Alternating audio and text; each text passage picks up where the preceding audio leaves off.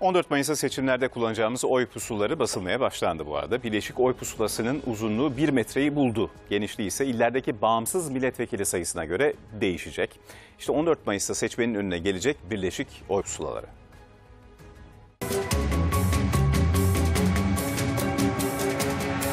Ne kadardır uzunluğu sizce? Herhalde 50 santim. Tembellik söyle 60 76 santim. AK Parti 24 siyasi partinin yer aldığı oy pusulaları basılmaya başlandı. Efendim şöyle tutun ucundan şöyle. Tam bir metre uzunluğunda oy pusulası. Hayırlı olsun diyorum. Yani ilginç bir durum. İnsanlar burada biraz vakit harcayacaklar gibi duruyor yani. Seçim günü de böyle arayacak mısınız? Dur, ya, tabii ki. Saklamayın bizden.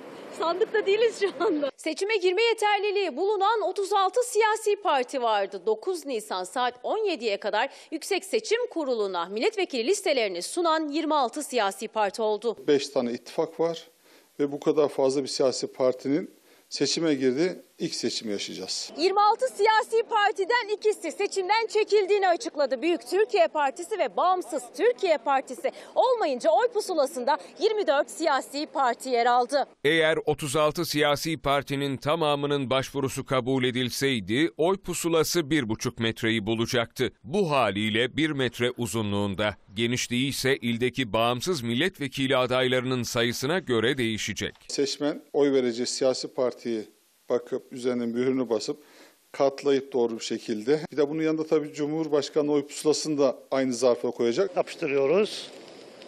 Bu kadar. Birleşik oy pusulasında yer alacak siyasi partilerin logolarının ve isimlerinin boyutları kanunla belirlendi. Seçime katılacak partilerin sayısı çok olunca Birleşik oy pusulasının da boyu uzadı. Bunların tamamı yasada tanımlı olan ölçüde oldu. Sadece bir 0.1 milimlik bazı yerlerde oynama oldu eşit şekilde. Çünkü kağıdın boyutunu aşan bir şekildeydi. İşte Türkiye'nin 14 Mayıs'ta sandığa girerken kullanacağı oy pusulasına bir örnek.